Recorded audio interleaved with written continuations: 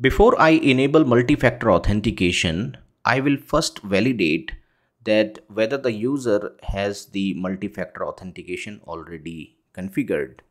For this, I will access the outlook.office.com, will access the Office 365 application and will log in with the user account Alex to see whether there is any multi-factor authentication configured or not. Well, I will click next and will provide the password for this work or school account of Alex. Here we realize that there is no multi-factor authentication and user will be able to access the application without any MFA required. Well, the user can access this application. Now, as per the scenario, Alex has agreed to test the multi-factor authentication for you. And uh, now you are going to leverage the per user multi-factor authentication in Entra to test or do the pilot testing of uh, multi-factor authentication. For that, you will log into the Entra portal. I will switch to a server where I have the Intune portal already launched and I will be launching now Entra portal. This is entra.microsoft.com and uh, I will log in with the same admin account, the global admin account with the single sign on. I will need not to provide the account because it's already logged in in Intune. Well, through this account, I will configure the multi-factor authentication. In the free search, I will look for multi-factor authentication and will launch the service from here. From the multi-factor authentication, we have several settings that we can configure. The first thing first, and that is to configure the any additional cloud-based multi-factor authentication settings you want to do. So you have an a hyperlink here and uh, where from you can configure the user settings to enable or disable the MFA and the service related settings as well. So some server side configuration that I want to turn on is let's say for the trusted devices of users, I want to specify few days of caching so that the multi-factor authentication is not asked. So I can do such settings here, service settings like the app passwords, trusted IP addresses. So if the user accesses the applications from this trusted IP, then will not need not to provide the multi-factor authentication. I will remember the multi-factor authentication on the trusted devices. This allows users to remember multi-factor authentication on devices they trust. Between 1 to 365 days we can configure. In my case, I will set it to 30 days and will save this configuration. Well, after this, I will enable the per user multi-factor authentication. This was the server setting. I can either go back to the user settings or I can go to the users blade on the left. All users users I'll go to per user MFA and uh, here from the users I will pick the user Alex Wilber to whom I want to enable the MFA and will click on the enable MFA button will enable the MFA from here you will see enabling multi-factor authentication and that is done now the next step is to validate that whether this MFA is enabled or not. For that, I will switch to the client machine to pretend the login of user Alex Wilber.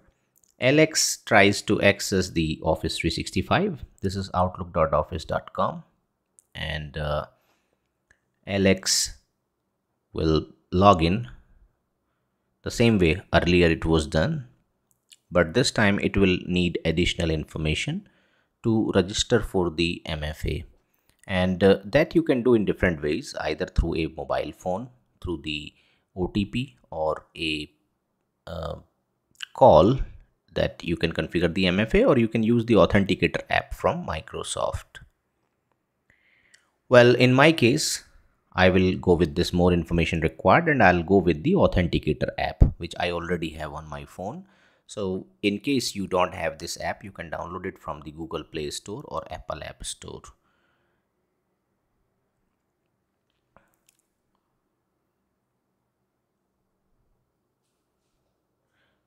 Now I will click on the next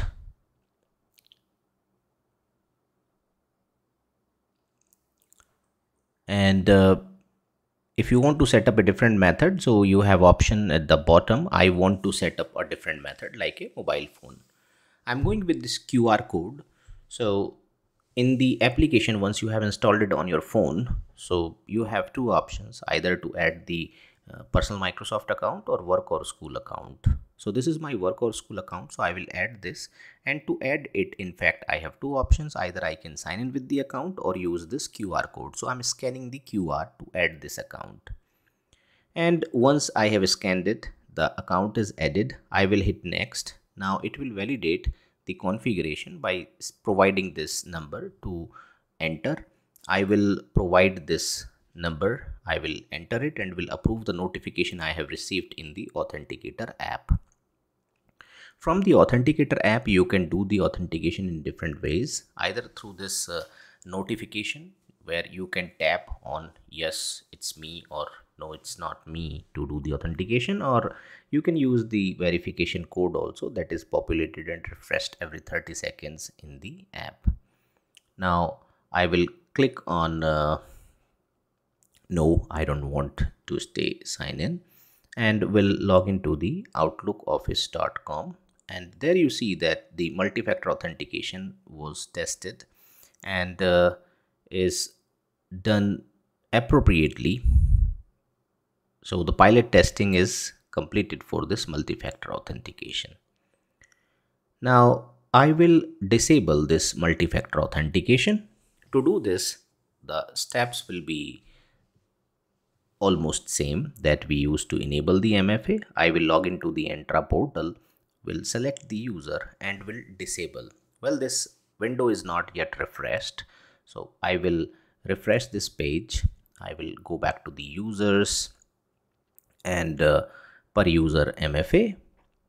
Therefrom, I will select the user Alex and disable the multi-factor authentication. Now we can validate that the multi-factor authentication is disabled. User need not to perform the MFA this time. Well, I will close this window. This was the implementation of our first scenario of the first exercise to enable the per user MFA.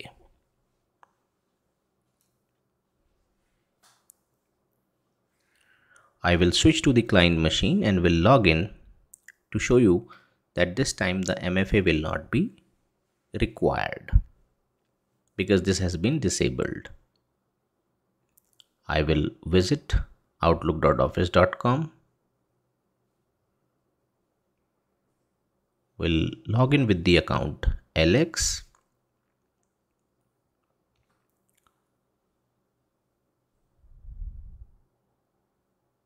and the password and there is no need to do the MFA this time since the MFA is disabled for the user.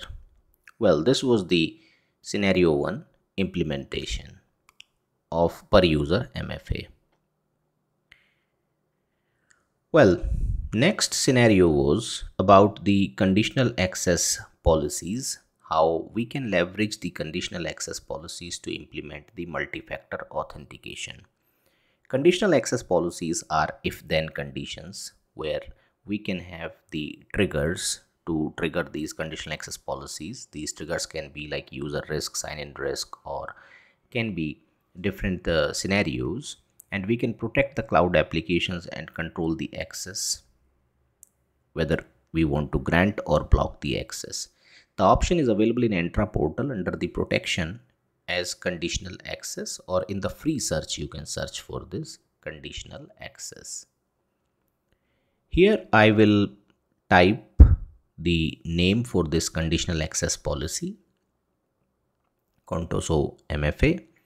The users or groups to whom I want to apply this, none all users selected users. In my case, as per the scenario, I will do it for an individual user for testing and this is for user Alex. I will either select it from this list or we have a free search to select the users. Well, I will search for the user and choose it. Next thing I'm going to do is I'm going to specify the target resource that I want to protect through conditional access policy. This target resource can be a cloud app. It was formerly known as cloud apps. Today we call that as resource or resources. We have various options in fact, not only these resources. We have user actions or authentication context we can configure these are the target resources we want to protect. In the resources, I will select a resource. We have options to include, exclude. Right now it is set to none. Okay. So under the include, I can select all the resources or I can go with select resources and then therefrom I can select the cloud application that I want to protect. As you know or you see this, uh, it was known as cloud apps formerly. Now the rebranding is done as all resources. Here we go to the select and I will choose the Office 365 in this example. So this conditional access policy applies to Office 365 applications. Now we can go to the conditions in case if we want if we want to define any. I have done a separate video on conditional access policies. You can watch that from the description of this video. I'll put the link here.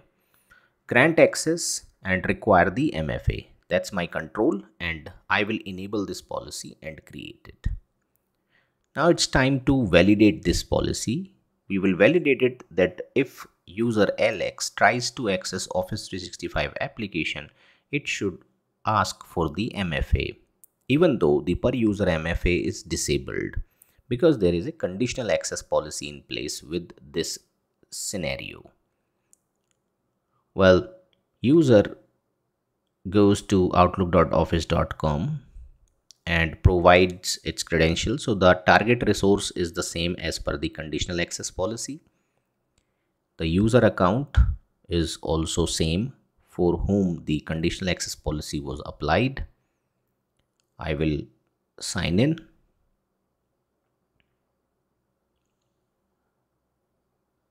and here you will notice that it required the multi-factor authentication. I will complete the MFA and will sign out from this account and in fact will show you accessing another resource like an Azure portal where the MFA will not be required because that does not match the conditional access policy. So here in this case with MFA I'm able to access the Office 365 application. Well, let's complete this and sign out. And as I said that after this, we will test with another target resource, which is something apart from the Office 365. This time I go with portal.azure.com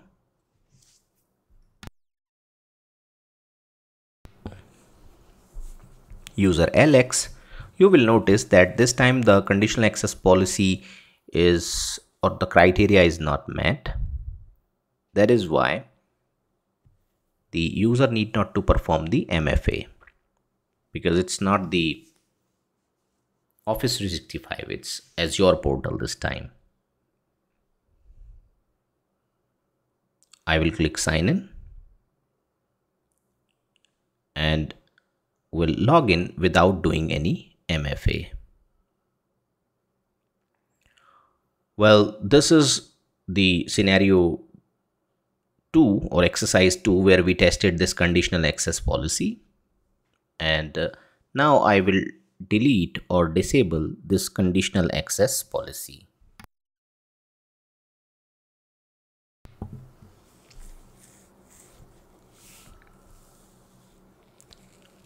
I will log in the log into the Entra portal this time on this client device itself rather than switching to the server and will disable the conditional access policy. In fact will delete the policy. I do not need it further. The pilot testing is completed.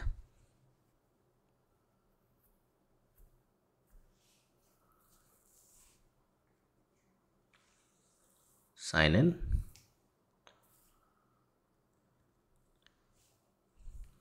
now go to the protection and conditional access policies or search for that in the free search here. Conditional conditional access. There can be multiple solutions coming up. Conditional access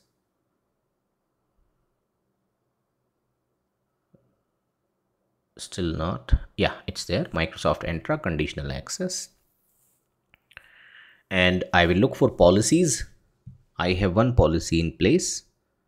I will click on the ellipsis button and delete this from here. Click delete. And that's done. Well this was the scenario 2 where we have tested the conditional access policies configured for multi-factor authentication based on the selected criteria. I hope this video was informative to you. Thanks for watching and do subscribe the channel for future updates on this channel. Thank you.